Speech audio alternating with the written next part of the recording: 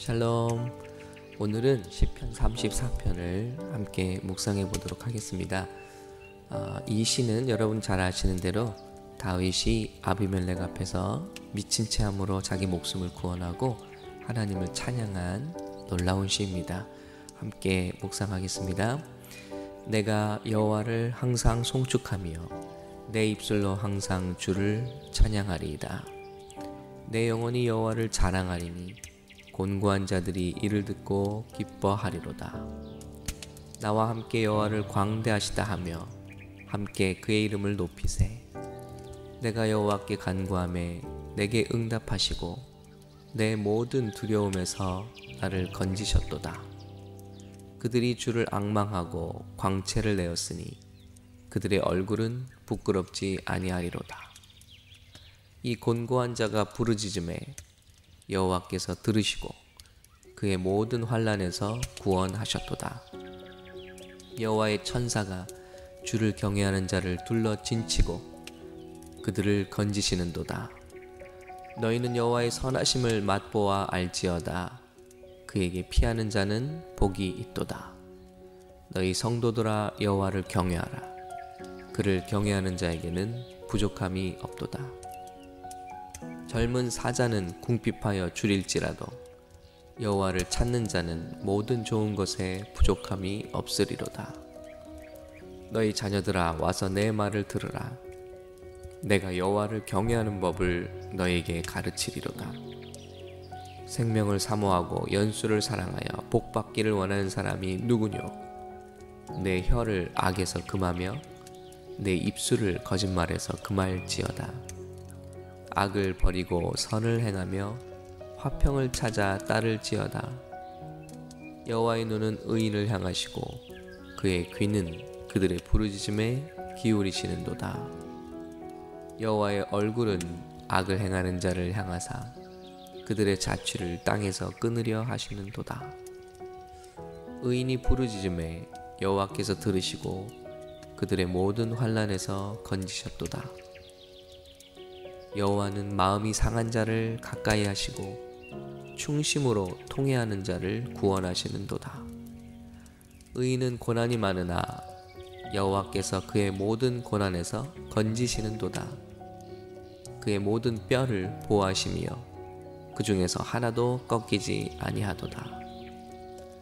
악이 악인을 죽일 것이라 의인을 미워하는 자는 벌을 받으리로다. 여호와께서 그의 종들의 영혼을 속량하시나니 그에게 피하는 자는 다 벌을 받지 아니하리로다. 아멘.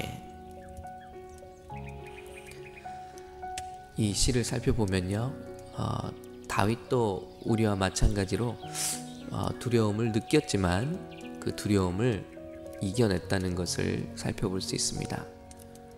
아, 그럼 그 두려움을 이겨낸 다윗의 아, 행동은 무엇이었을까요?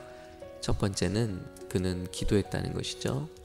내가 여호와께 간구함에 내게 응답하시고 내 모든 두려움에서 나를 건지셨도다 고백하고 있습니다.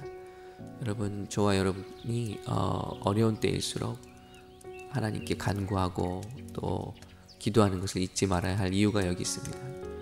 우리가 두려움에 빠질 때 기도하면 내 모든 두려움에서 주님이 우리를 건지시기 때문입니다.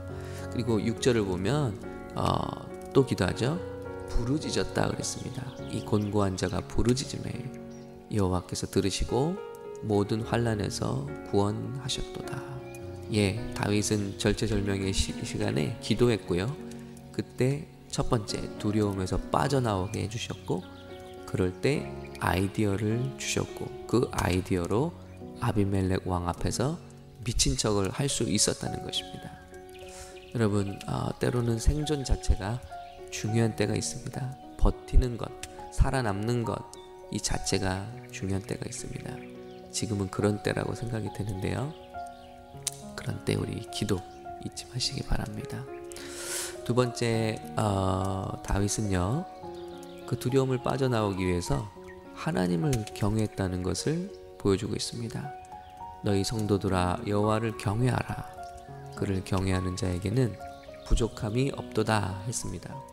예, 어, Fear the Lord, you His saints.라고 말하고 있어요.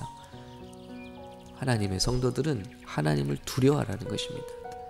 그럴 때 그를 경외하는 자에게는 부족함이 없도다.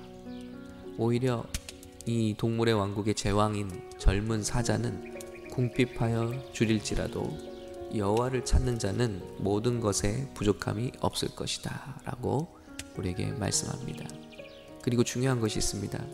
우리가 고통의 때를 지날 때 하나님께서는 우리 입술과 혀를 연단하신다는 것입니다.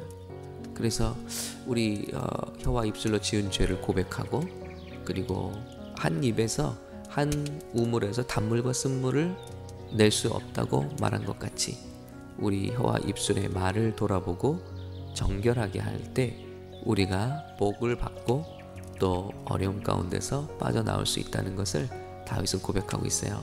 생명을 사모하고 연수를 사랑하여 복받기를 원하는 사람이 누구뇨? 그러면 내 혀를 악에서 금하며 내 입술을 거짓말에서 금할지어다. 그리고 중요한 어, 하나님의 진리가 있습니다. 우리가 힘든 때 하나님은 제일 우리와 가까이 계시다는 것입니다. 여호와는 마음이 상한 자를 가까이 하시고 중심으로 통해하는 자를 구원하시노다라고 되어 있습니다. 여러분 비록 어려운 때라고 여겨질 수 있지만 이때에 주님께서 가장 가까이 그 어느 때보다 우리와 가장 가까이 계시다는 사실을 잊지 마시고 지금 저와 여러분이 기도할 때 주님을 만날 수 있는 가장 좋은 때라고 여기시고 함께 기도할 수 있기를 바랍니다. 오늘도 우리 사랑하는 성도님들의 우리 한 분 한 분의 마음과 심령 그리고 우리 자녀들 그리고 온 가족 그리고 주님께서 주신 기업들 또 그 삶의 모든 경제의 영역들 건강의 영역들을 우리 주님께서 지켜주시기를 간절히 간절히 기도하고 축원합니다.